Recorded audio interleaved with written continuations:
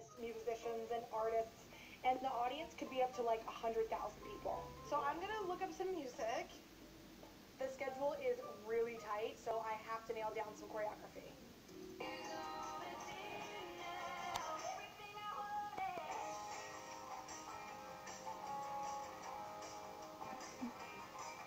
This just sounds like generic nonsense.